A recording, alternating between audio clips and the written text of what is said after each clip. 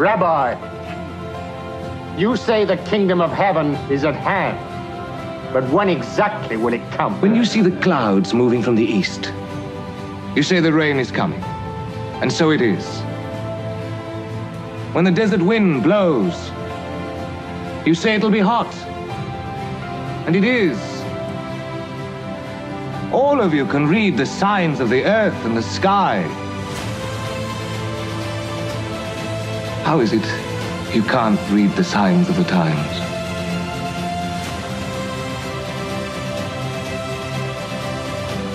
The kingdom of heaven is here. Now.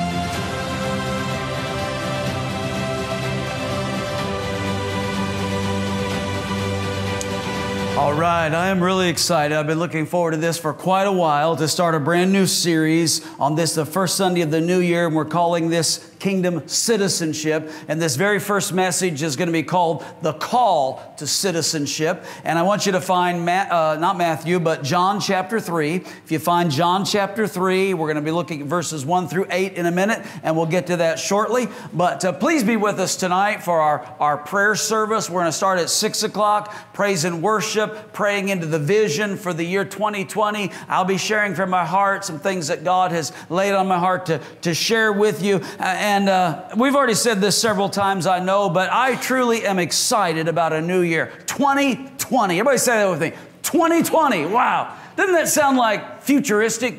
It, it sounds almost like a like a you know something out of a out of a movie or something, almost like science fiction. Who would have thunk that we could ever got to the year 2020? I mean, it sounds like it's it's incredible. Now, can I be a little um, transparent with you this morning? I started to say a little humorous, but I don't know if it will be or not. I'll let you be the judge of that. But I can remember when I was a little guy, and I was probably a teenager or maybe even a preteen, that I began to think, and that's a long time ago, I thought, wow, what will it be like when we reach the year 2000? You know, how many remember 2000? Y2K. the world is going to shut down all the computers are going to freeze and, and the world is going to cease to exist. I remember when just a little guy, I thought, wow, the year 2000. And I can remember this thinking, wow. And I calculated, I did the math. When I, when we reach the year 2000, I will be 42 years old.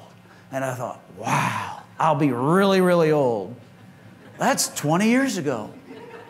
And now, now we're in 2020. I mean, who would have thought we would have gotten to this point? It sounds like it's, it's kind of like science fiction, but you know what? I'm excited about 2020. I'm going to be a grandpa in 2020. Have you heard about that? That's going to be exciting. I'm going to be the best looking, the most handsome, the most vigorous, athletic, and this little lady up in the second row is going to be the most beautiful, the most uh, adoring grandma you've ever seen. I mean, we're excited about what God is going to do for us. New year, new attitude new expectations, new desires, new faith, new confidence. I started to say new dream. It's kind of like really it's the same old dream, but it's a new expectation to see it fulfilled. That's why I'm launching today this series called Kingdom Citizenship that I've been looking forward to for some time. I loved our Christmas series. We did the Christmas series in the five Sundays of December, and I love the gifts that God gave. But my calling, my passion is really to teach a series like this one that we're teaching beginning today about the kingdom. I'm going to teach some new things to the body of Christ. I hope to be able to share some things with you that maybe you did not know before, to think in some areas that is a little bit out of the box, to give you new paradigms, new visions, new understandings. And, and we're calling this kingdom citizenship, and the little tagline is the principles and power of kingdom citizenship, keys to experiencing heaven on earth. How many would like to experience a little heaven on the earth? How many would like to have a little bit of heaven before you get to heaven?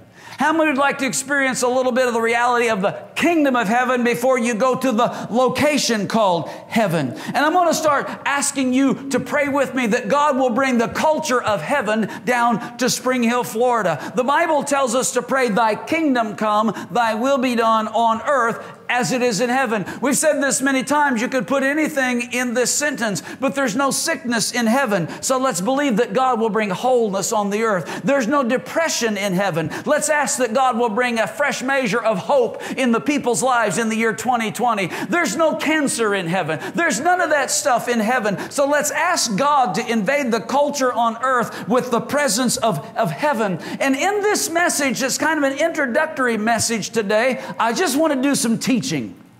I really have a hunger and a desire to be a teacher to the body of Christ. I really believe that one of the things that sets Family First apart, and I'll get to the message in a minute, but I really intend this series to be different.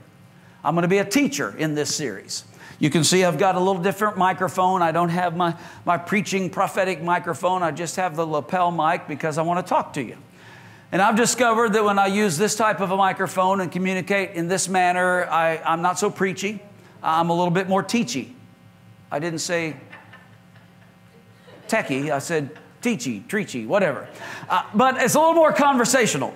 It's a little bit more dialogue, and I really want to get you to come into an understanding with me about some things that you have maybe never considered before. And this is in the area of what sets family first apart. I really believe. We're not in a comparison. I've said this many times. There's many great churches in this community. We're not in comparison or competition with any of them, but we do have a unique vision. There's a kingdom vision in this house. There's a kingdom message in this house. There's a kingdom revelation in this house. And if you don't understand everything I'm saying in this introduction, I pray that it will be apparent to you as we go along. And to be frank and honest with you, if you've got a desire to learn new things, to grow, if you're wanting in the year 2020 to take your spiritual life to a new area of understanding and revelation and, and presence and power of God, I think you're going to be thrilled in this journey. If you're looking for business as usual, if you're looking to come to church to get a feel good feeling, if you're looking to come to go through a routine of religion and just experience the same old emotional high that you get that doesn't last till Tuesday afternoon, you're probably going to get disappointed. Come on, I'm preaching a lot better than you're shouting right now. But if you're going to pack in with me and learn some things in these next few weeks, I really believe God will touch that little baby in the name of Jesus. Help him, Lord whatever's going on there. I really believe God is really going to help us. So, how many will listen as I teach? How many will take some notes? If I work hard to put this stuff together, the least you can do is write it down. Come on, somebody. That's a pretty good word. I've got stuff on the YouVersion Bible app. Download it on your phone. You don't even have to write it, just download it. It's already typed out for you. But I want to talk about keys to experiencing heaven on earth. And to talk about the kingdom, we have to start with a basic understanding of the kingdom. So, what is the kingdom? You say, well, Pastor, everybody understands what the kingdom is. All churches teach the kingdom. Eh, the, the, the kingdom of God, everybody knows what the kingdom of God is. Nobody needs to explain. And we say, all, it's all about just getting people to heaven because it's the kingdom of heaven. Well, yes and no. There's a lot more to it than that. So I want to unpack for you, and we did this a few years ago. I think it was in 2018. Many of you are new, but we did a vision casting message at that time called Kingdom Culture. And so I want to lay the foundation here again. In order to understand kingdom citizenship, you have to understand the kingdom and what it means to be a citizen of that kingdom. Because here's what Jesus said, and you found John chapter 3 a minute ago, and I'm going to get to that in a moment, so just hold steady. But in John chapter 3, verse 3, Jesus said, Truly, truly, I say to you, unless someone is born again, he cannot see the kingdom of God. You cannot see the kingdom of God, you must experience the kingdom of God. If you experience it, then you'll see it. But if you try to see it first, you'll never experience it. How many know what earthly culture says? Earthly culture says you've got to see it to believe it. How many have ever heard somebody say, if I see it, I believe it? Seeing is believing. That's earthly philosophy. Earthly philosophy is you have to see it to believe it. Seeing is believing. Seeing is experiencing. But kingdom culture philosophy says experiencing is seeing. Uh, it's better caught than taught. It's better experienced than it is understood. And so when Jesus said, unless a man is born again, he cannot see the kingdom of God, he said the first thing that's got to happen is you've got to experience the kingdom of God so then you can see what you're experiencing. I can't paint you a picture. I, I can't say, here's what the kingdom's all about, and I know you've never experienced this, but here's how beautiful it is. Now, why don't you come and experience it with me? I can't do that. That's backwards. But I've got to say, if you'll experience the kingdom, if you'll step into the kingdom, if you'll experience the favor of God that starts by the entrance of salvation into the kingdom, then you'll look back into your life weeks or months or years afterwards and you'll say, wow, this is an amazing experience because now I'm walking as a citizen of the kingdom of heaven. So let me give you a definition. A kingdom, now that's a small letter K, a kingdom of any kind is the governing influence of a king over a territory impacting the territory with his will, the king's will, his purpose, and his intent, producing a culture and a moral standard for the citizens. Now, that's a generic secular definition of a kingdom. But the very best picture or example of a kingdom that we're going to understand today is the kingdom of God. So let's say, what is the kingdom of God? Or what is the kingdom of heaven? And I'll explain that in a little bit. Those are synonymous terms. Whatever Bible version, whatever language is used, it's always talking about the same kingdom kingdom of God, kingdom of heaven, kingdom of Jesus, kingdom of Christ. Whatever, whatever way it is explained, it's all the same kingdom. And what is the kingdom of God? Well, let's start with some statements. Number one, the kingdom of God starts with God because God is the king. Say that with me.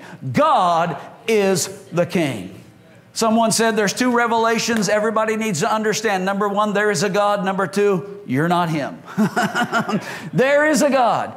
God is king. He is large and He is in charge. He is sovereign. He is ultimate. He is invincible. He is not a president. He's not a prime minister. He's not a dictator. He's not a politician. He's a king. He was not elected. His rule and his will will never end, and he cannot be impeached. Come on, somebody. He does not answer to anyone. He cannot be taken out by anyone. He answers to himself. He writes the rules. He enforces the rules. He ordains the rules. He is God. He is the king. Now, if we can't get past that, we'll not get anywhere. But that's the first statement. Here's the second one the king, which is God, has a kingdom.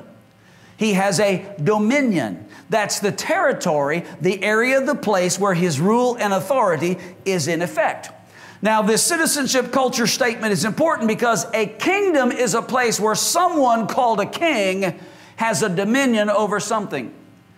If someone thinks they're a king and they don't have any dominion, they don't have any territory, they don't have any area of ownership and rule and reign, they're not really a king.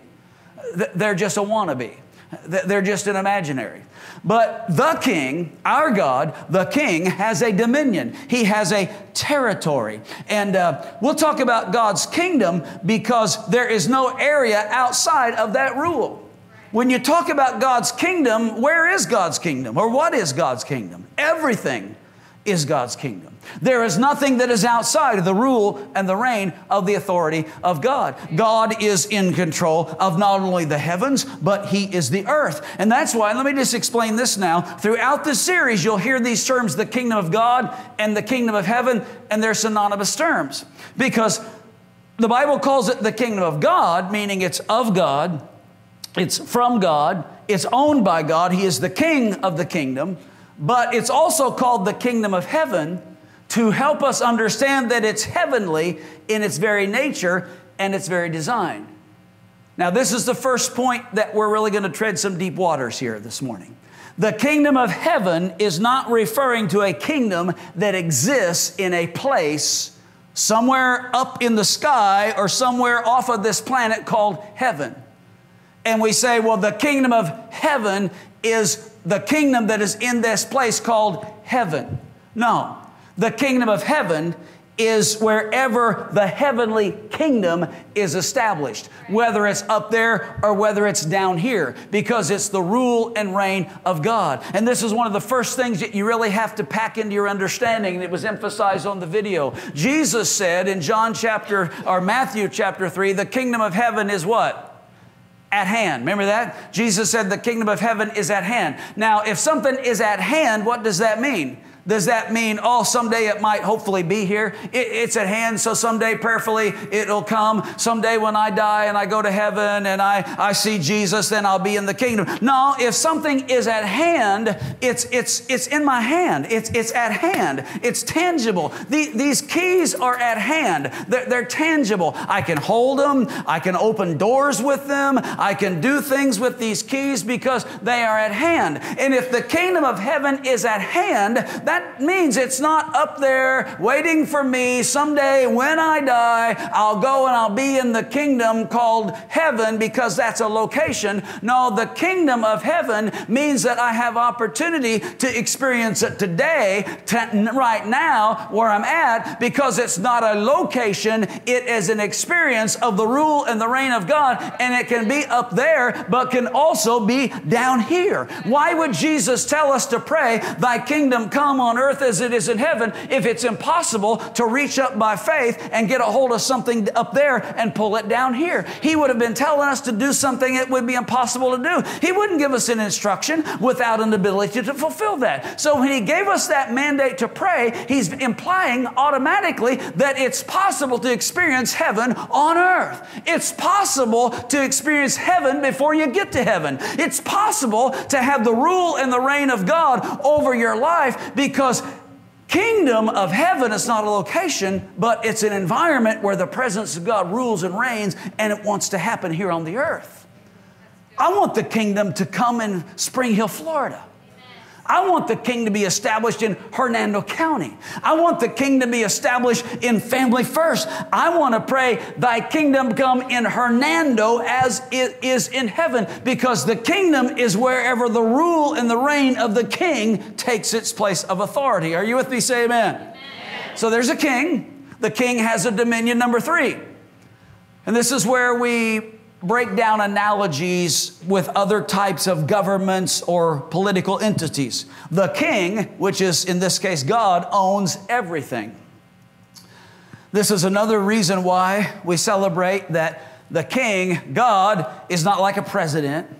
He's not like a governmental leader. He's not a political leader because the leaders of our country I hope this is a revelation to somebody, especially when you get ready to go to the ballot voting ballot box later this year. They don't own our country. Come on, somebody get with me. They don't tell us what to do.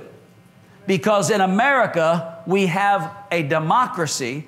Technically, America is a representative democracy, which is, how many remember the eighth grade? Remember your civics lesson that the Constitution says the American government is of the people, by the people, and for the people. We own the country. The country doesn't own us and tell us what to do. Come on, I, I don't make me stay on this a little while. This country will be what we make it in the next number of years. This country will be what we vote. This country will be what we enforce. Nothing happens on the earth that the church doesn't either initiate by its jurisdictional spiritual authority or allow to happen by its uh, inability to influence. And we've got a mess on our hands right now in the American culture because for many generations the church has sat back and not done anything, and we've went to, to see he- uh, uh, this, this country go to hell in a handbasket, and we've said by, well, I don't know how this happened. I'll tell you exactly how it happened. Preachers stopped preaching preaching the truth, people stopped responding and living out, and we stopped voting, and we stopped influencing, and we stopped putting people in government that were people of Christian ethics and principles, and now we've sown under the wind and we've reaped the whirlwind. I told you I wasn't going to get all preachy, so oh, I might have to strap on that other microphone or slow myself down. Come on, somebody. All right. But a king owns everything. That's why God is not like a politician. He owns everything. The king owns everything in the kingdom. Every single part of the kingdom is the king's personal property. The Bible says, Haggai 2 8, the silver is mine and the gold is mine, declares the Lord. Not just the money, but look at this Psalm 24, verse 1 The earth is the Lord's and the fullness thereof, the world and those who dwell therein. Everything in the kingdom is the personal property of the king. It's his. Every mountain, every road, all the animals, the plants, the food, the water, everything. No king can claim rulership unless he possesses some territory. In fact, the glory of a kingdom is always determined by the size of that king's territory. That's why kings are always wanting to expand their territory because no king wants to have a shrinking territory. They want it to expand. And the kingdom of heaven is the greatest kingdom on the earth because the earth is the Lord's and the fullness thereof. And then notice what it says in the byline of this verse and those who dwell therein.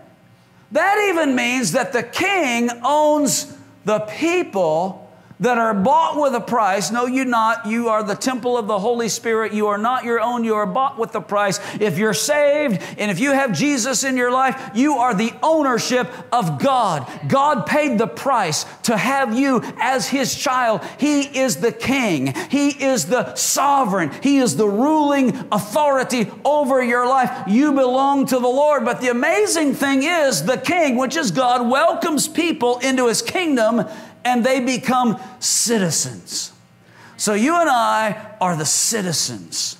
We are the, the subjects, if you will. We, we are the people that make up the kingdom of which our God, the King, is our ruler and our Lord. And we are His people. We are His subjects. We are His very own people. Now, this is why in the future, as we get into this series, I'm going to move on into the fact that so many people have never moved into full rights and privileges of citizenship. And that's how we're going to understand how to bring heaven to earth. How to experience heaven on earth is by exercising all of our rights and privileges as citizens of the citizenship of the kingdom of heaven. But we also have to understand that there is a counter kingdom. You see, the Bible says there is a kingdom of light and what? Kingdom of darkness. There is the kingdom of God, and there is the kingdom of Satan or Lucifer. And we have to understand there is another kingdom. So look at this. There is a reason, I love this, I want to teach you something here in a minute. There's a reason why we call the kingdom of God the kingdom of light and the kingdom of Satan the kingdom of darkness. I want you to look at that screen really close. I just want to point out something and my computer kept automatically trying to correct it, and I had to override it. I had to put into the database, stop trying to capitalize Satan's name. He doesn't deserve a capital S, it's a small letter S. His kingdom does not deserve a capital letter K, it's a small letter K. So the kingdom of God is a large letter G, and it's a large letter K. But the kingdom of Satan is a small letter K, and it's a small letter S, because we have one kingdom of light and we have one kingdom of darkness. And this is what I learned this week. I tell you what, it's amazing when you learn things and then I get to come and I tell you all these people these things and you think that I just dreamed this stuff out of the clear blue sky and you don't really know that I read it in a book. But the amazing thing is you could read it in books too if you had an appetite to, to learn things like that, if that didn't get over your head. But here's what is amazing. In the Hebrew, the same word for darkness can be translated ignorance. Now turn to your neighbor and say, Did he just call me stupid? No, I said that the same word for darkness can be translated ignorance. Now, in the Greek and Hebrew, the same word that is translated light in its root form can also be translated knowledge. So, so what, what is this telling us?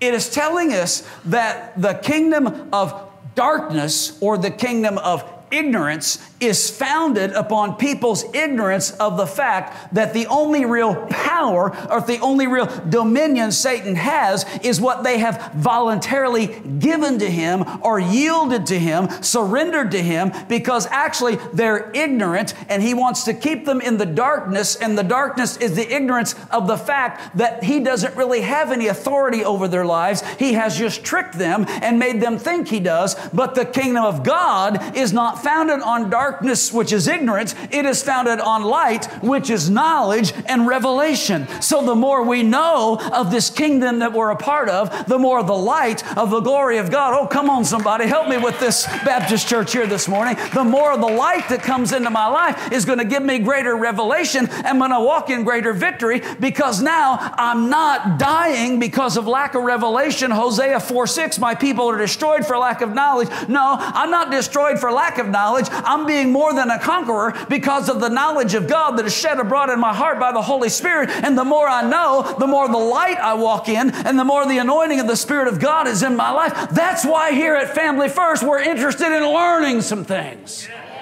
Come on, let me help you with this. Pastor Coach, why, why do you think it's so important for us to bring our Bibles to church? Because you don't know it all, that's why. Why is it so important for us to listen when you preach? I just love to hear the inspiration. I just love to see you come and get red in the face. That'll last you till about 3 o'clock this afternoon. But Tuesday night, when all hell breaks forth in your life, you would love to be able to say, I wish I could remember what Pastor said. I wish I could remember that verse he quoted. Because if I would have written that down, then I could remember it and I could use it against Satan. But you just had the thrill of the moment. And after the moment was over, you weren't ready for the battle that was going to take place 36 hours later. That is good preaching. Thank you, sweetheart. I'll take you out for lunch for that. Now, that doesn't go for all the rest of you, just, just her. Just Grammy. That's the only one. Just, just Grandma and I. We're to make our way to. Where, oh my, I'm going to get in trouble now. Just because I'm becoming a grandparent does not mean I'm going to go to Golden Corral. I'm, I'm just telling you. I, I, am not going to Golden Corral. That, that's just, I, I, just can't quite handle that. But anyway, all right, everybody doing okay here this morning? Say amen. So, um, I'm sorry, sweetheart. The kingdom of God is not, let me just say this it's not the opposite of the kingdom of Satan. Because God has no opposite. He has he has something that resists him, he opposes him, but don't ever see the kingdom of God and the kingdom of Satan as two as two competing entities out there and and you know a lot of people say, "Well, I've read the back of the book and we win." For Pete's sakes, why go to the back of the book? Why don't you start at Genesis 1 1 that says, In the beginning, God. And in the first verse of the first book, you know who's going to win. You don't have to go to the last verse of the last book. You start in the first verse of the first book and know that God is large. He's in charge. He's going to win this thing. His kingdom is established in our lives by the authority of the Holy Spirit. And Satan is just an unemployed, He's an alienated, he's an excommunicated. I looked this up, I guess it's not a word. Google didn't help me out. He's a decitizenized kingdom person because his citizenship was revoked. But you and I are citizens of the kingdom of heaven. Now get a hold of this verse. I'm going to read for you in Romans chapter 8, verse 32 in a moment. But citizens of the kingdom have unlimited resources available to them because the king has given them all things if the king owns everything, my king owns everything. I don't know about your king, but my king, my king's not suffering. We don't take offerings on Sunday morning because our king is out of money. Come on, I'll help you with this. We don't receive tithes and offerings here at this church because God's kingdom is broke. No, God's doing quite well. I don't know if you've looked in the book of Revelation yet, but he takes purest, finest gold that is worth astronomical amounts of money and he paves the streets with it because that's how wealthy and extravagant he is in his design. We don't take offerings for God's benefit, we take them for our benefit because that gives us the ability to schedule the favor of God's in our lives. Because if we give, God will give back. Good measure, pressed down, shaken together, full and running over. Shall men, not God, but other people, give into your bosom? We need to read our Bible because we're destroyed for lack of knowledge. But God, the Bible says in Romans 8 32, if you just go, I'll just stand down here for a second. He who did not spare his own son, but gave him up for us all, how will he not also with him graciously give us just a little bit to get by? Thank you, Maria. Bless your heart. I know the rest of you are just thinking too fast to respond. Isn't that the way most people think? Oh, Lord, just give me a little bit. I just want to get by. Just build me a cabin in the corner of Glory Land. I just want to survive. I just want to get, oh, I don't expect anything down here. I don't expect to help anybody down here because I don't have a vision to help anybody. If I had a vision to help anybody, then God would give me provision. But since I don't have any vision to help anybody, I'm not in need of any provision because I don't know what I'd do with it anyway. I'd just bank it and, and not do anything valuable with it. And I'm preaching over the people's heads and I can feel the, the anger starting to come out right now. That's why I got my eyes closed. But I'm going to open my eyes in a minute and we're going to get a different subject. But God graciously does what? Gives us all things. Why? You want to look at the next verse? How many want to stir up some religious devils here this morning? I love to stir up the demons. Look at this next verse. 1 Timothy 6 17. This is a similar statement, but look at the very end. As for the rich in this present age, charge them not to be haughty, nor to set their hopes on the uncertainty of riches, but on God. Now, this verse is not to beat up on rich people. I uh, believe this verse, obviously. We charge them not to be haughty. No honestly wealthy kingdom person has a haughty spirit. They don't set their hopes on the uncertainty of riches. They still keep their hopes on God, who does what? Who richly provides us with everything to be miserable. And that's the way most Christians would read that verse. God just gives me just enough to get by, just a little bit so I can be miserable the rest of my life. Did I ever tell you about the story? This pastor, he was old school. Now, in the early service, a lot of old school people in the early service. Maybe not quite as many in this service. How many are old school? How many are raised old line? I mean, old old style. All this, the idea that if it's if it's uh, fun, it's sin. You know, big, big bun, no fun. Any, anything that's enjoyable has got to be wrong, you know. And, and, so this guy was, he was a preacher and he was training his little son. They were out traveling the countryside and they're driving by this mansion. They're in their beat up jalopy and it's backfiring as they're going down the road and, you know, the windows are broken out. It's, they're riding along and this Jai says, Son, you see that mansion over there? And the little boy says, Yeah. He said, It's a big mansion. I mean, they got tennis courts, they've got volleyball courts, they've got swimming pools, there's a, a pasture out in the back with horses, and the, the wealthy landowners' children are riding. The, and it's just phenomenal. And the, and the, the uh, religious guy says, Son, you see that mansion over there? And the little boy says, Yeah, Daddy, I see that. He says, Son, those people are miserable. They're miserable. They've got money, they've got all kinds of stuff, but they're miserable. And the little boy looked at his daddy and said, Well, Daddy, if they're really miserable, they're hiding it pretty well.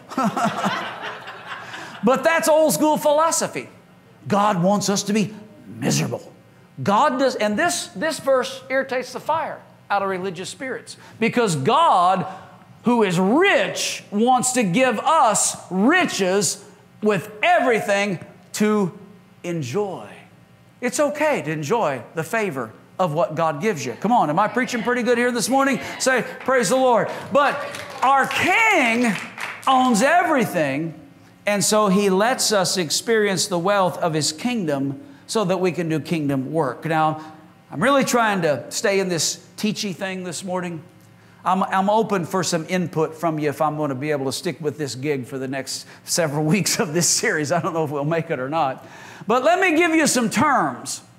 Let me just quickly break down some thoughts because there's some traditions, some beliefs, some ideas, and some paradigms that got to be exposed because there's some things that restrict many Christians' understanding of the kingdom. The first word we have to deal with is the word religion. The kingdom of God has almost nothing to do with religion.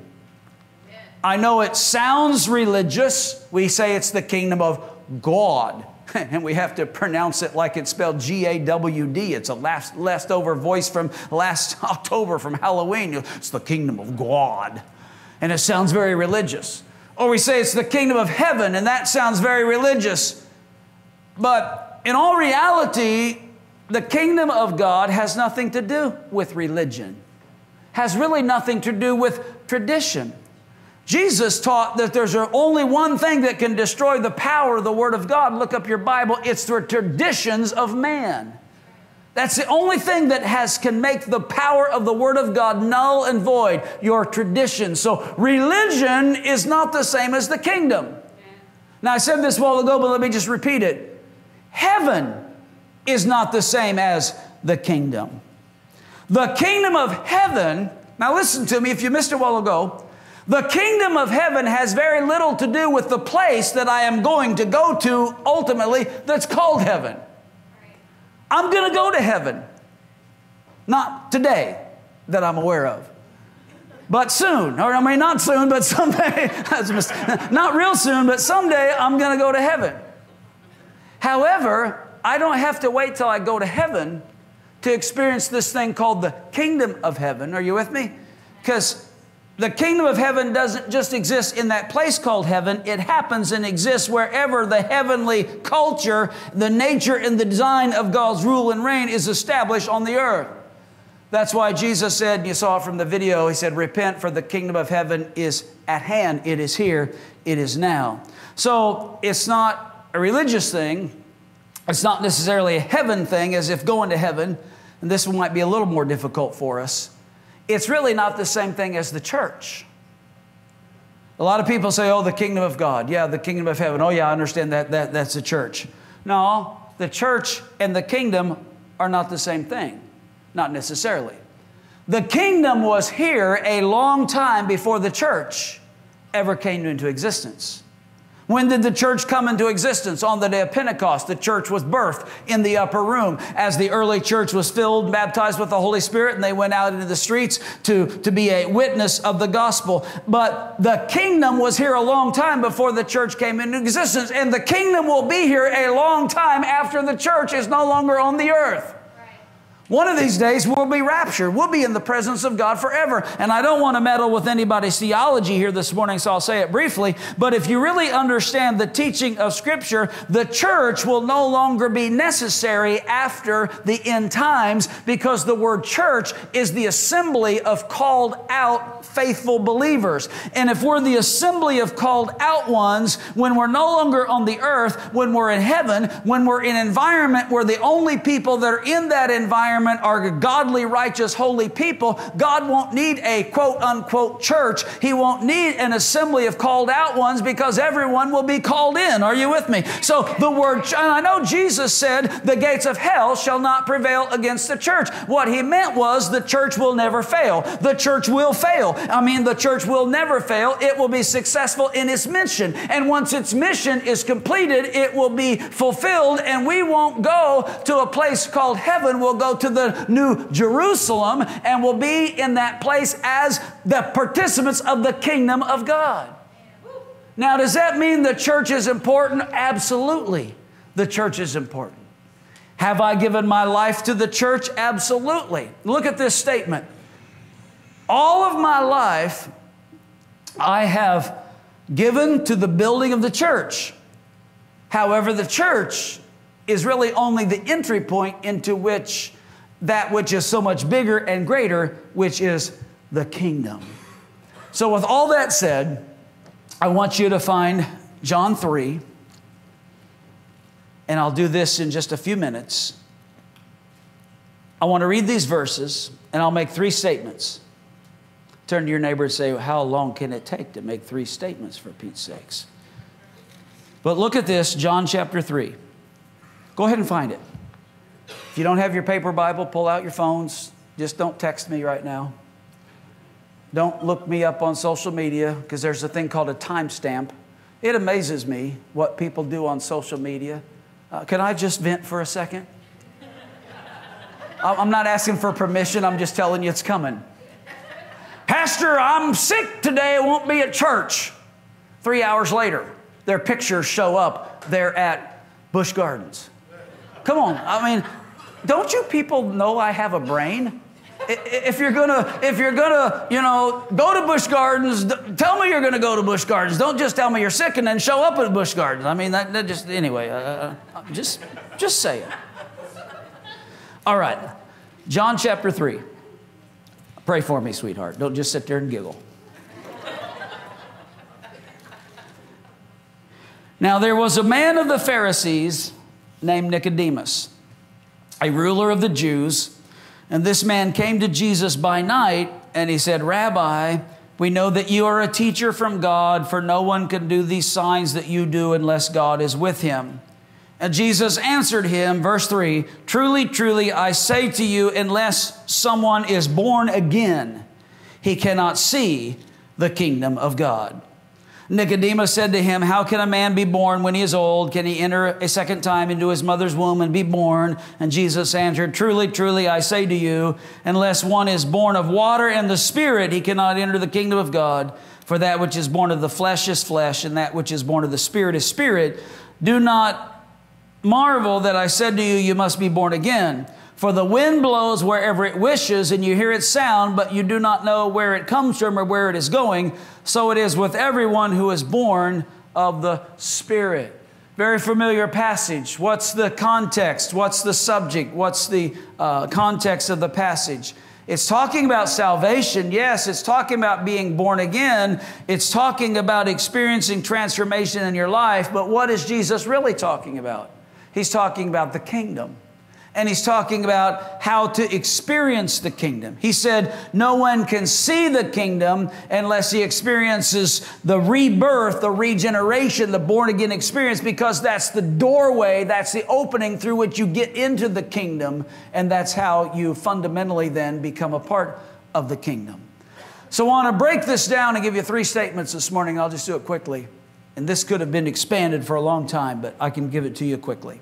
Citizenship in the kingdom is fundamentally different than membership in a religious entity. Now, here's how we have traditionally read John chapter 3. Just a couple minutes, stay with me. Here's what we've traditionally read Nicodemus comes to Jesus. Nicodemus says, Jesus, I've been watching you and your disciples. I, I really like your group. I, I, really like what you're doing. I, I've really been impressed by your church. So I want to join up. So, how do I get in? What's the membership path? How do I get into membership of the group? And Jesus says, What? You must be born again. Now, that message of being born again is absolutely essential. It's obviously very, very critical, and that's the only way we see the kingdom of God.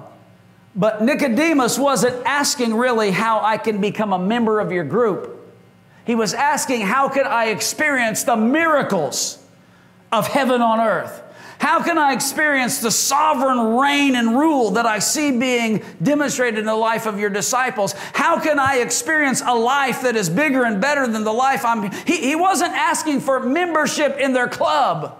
He was asking for citizenship in their kingdom because he saw the power and the anointing that was functioning in their lives. People uh, being delivered and healed, and the blind uh, eyes opening, and the deaf hearing, and, and people being raised from the dead. So, so listen to this. While membership in a religious institution may make you a member of that group, Citizenship of the kingdom is what grants you the full rights and privileges of citizenship in the kingdom of God. And while Jesus was talking about being born again, what he was really saying is there must be total life's transformation. If you want to see the kingdom, you've got to stop being who you used to be and start being who God wants you to be. Stop living the life you lived. Stop being who you used to be and being the whole new person that God wants you to be because you are born again. You're made new. You're regenerated. If anyone is in Christ, he is a new creation. All things have passed away and all things have become new.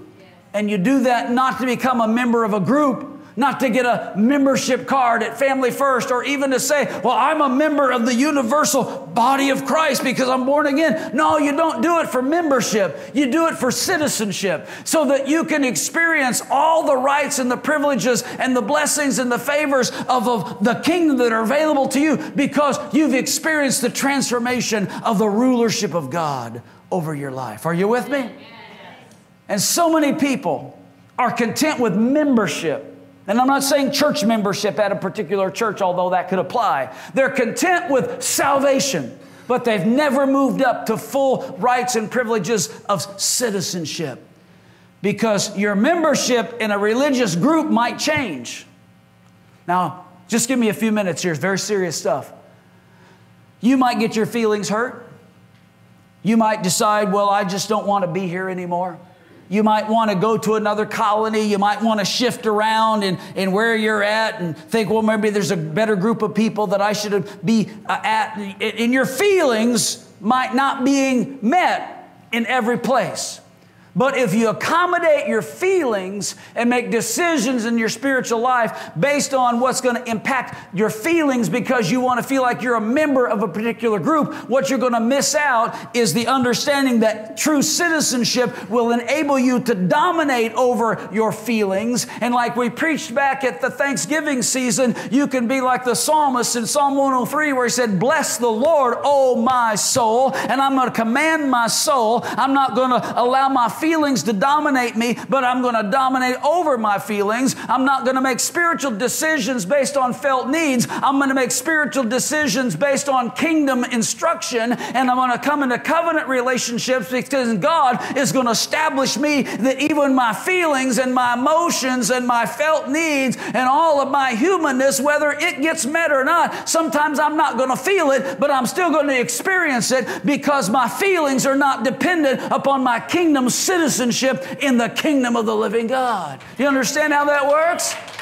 And so, citizenship, I don't have to feel anything to be a citizen. I don't have to get up in the morning and feel all thrilled to be a Floridian. I don't have to get up and be, although I am. Amen. Especially when I look on the news and I see all that snow going on up north. But I don't have to, I don't have to feel anything to be a citizen. I have to feel something to be a member. I have to feel wanted. I have to feel loved. I have to feel treasured. I have to feel like all of my all of my little needs are being catered to. And if all my little needs are not being catered to, then I get my feelings hurt. I don't feel anything anymore. I don't need any of that because I'm a citizen. Come on, are you getting a hold of this?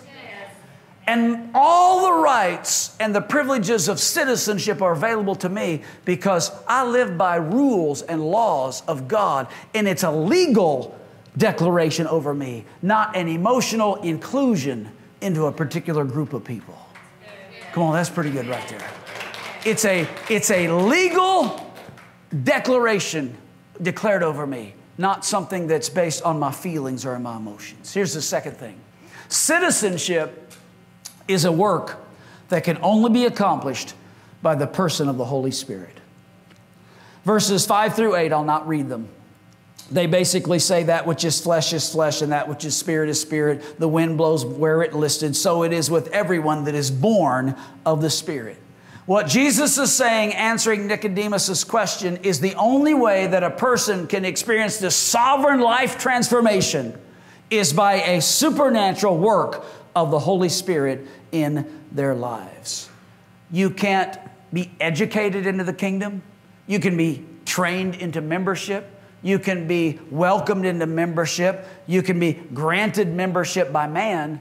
But the only way you can be blessed with citizenship is by the sovereign work of the Holy Spirit. Look at this verse. This is Colossians chapter 1. He, that is Jesus, through the work of the Holy Spirit, has delivered us from the dominion of darkness and transferred us to the kingdom of His beloved Son, in whom we have redemption, the forgiveness of sin. Only the Holy Spirit can deliver a person from the kingdom of darkness and transfer them into the kingdom of God. Because it's not by might, not by power, but by my Holy Spirit. We cannot grant people citizenship into the kingdom without the work of the Holy Spirit. We can make them a member of the church, we can make them a member of our group, but only the Holy Spirit can transfer them into citizens of the kingdom. And I could linger here, but I just want to say this quickly. This is a point at the very root of who we are a, as a church because we can have all the best programs in the world. We can be the best organized, we can be highly marketed and attract a great crowd of people. We can give them membership in our group. We can make everybody feel special. We can meet all their social and emotional needs so that they've got friends and activities and events and social needs and everything else. We can make the church so fun that everybody in town wants to come and be a part of our club. But we cannot do anything to transfer them to darkness into light, from hell into heaven, apart from the sovereign work of the Holy Spirit. That's why it's not by might or power, but by His Holy Spirit. Now, I said this in earlier services, just take me a second. Years ago, and I'm not commending this idea, I'm just saying this as an analogy. We used to say, well, you must experience the kingdom. And when you get your life all fixed up, when all your hang ups and when all your problems, and how many old school Pentecostals I have in the room. You, you got to make sure that you don't smoke anymore and you don't drink anymore. And you got to make sure that your life is all fixed up. You know, you don't smoke, you don't drink, you don't chew, you don't run around with girls that do. And when you get, when you get all that stuff fixed up in your life, when, when you're perfect like the rest of us, then come and we'll let you join our church. Well, that, I'm not commending that. that. That's wrong. Nobody can be delivered if they don't have people walking out their deliverance with them and we need to catch the fish and let Jesus clean them. That's fishing with Jesus. We catch them, he cleans them. I like that. I never like to clean fish anyway. I'll leave, I'll leave that to somebody else. But now, what's happened in the church? How many love me? I'm just asking. Now, what's happened in the church as we have swung to the opposite extreme? And here's the philosophy oh, just come and join our church. You'll fit right in. In fact, you'll feel like you've been here for all your life. We'll include you. We'll welcome you. We'll give you a place of leadership. We'll put you in charge of this ministry. We'll meet all the felt needs in your life, and this will be a wonderful home for you to feel like you are just a member of our club, and everything will be wonderful. And that's all well and good. But often it doesn't go far enough because no matter what we do, they can experience membership with us, but apart from the sovereign work of the Holy Spirit, we cannot transfer them from darkness unto light except for a sovereign work of the Holy Spirit. That's why here at Family First, the Holy Spirit will always be at the forefront of everything that we do. We want to do everything with excellence. We don't any want anyone to feel overlooked or, or, or, or uh, unimportant or unappreciated, but but we don't want all of that to take the precedent over the work of the Holy Spirit that says we cannot do for you what only the Holy Spirit can do for you. Why don't we find a balance that says we'll welcome you, we'll embrace you, anyone and everyone is welcome here, and we'll also take you by the hand and we'll say we'll help you walk out this relationship with God. But ultimately, you've got to find that commitment in your heart to the sovereign rule and authority of the Lordship of Jesus Jesus. There's no place to heaven apart from the cross and surrender to the blood of Jesus. And if you really want to experience the kingdom of heaven, then get an advanced operation in that and start experiencing growth in your life by the sovereign outpouring of God's presence in your life today. That's, that's a little bit different than, oh, let's just fill the building so we can see how many people we get here on this particular Sunday. I, I got to close. I, I know. I, I, have a tendency to just talk when I get this like a conversational approach, but am I saying anything that relates to anybody here this morning? Understand what I'm teaching today? It's, it's the kingdom, and we want to be citizens. Here's the last statement Citizenship is not the end, it is only the beginning. Many citizens in the kingdom have never taken full advantage of all their rights and privileges of citizenship because they've never understood, they've never grown. They thought that being born again was the end, when really that's just the beginning. They've said, well, yeah, born again, yeah, John 3. I, I remember. I did that once. I think I was like nine years old. I was in children's church.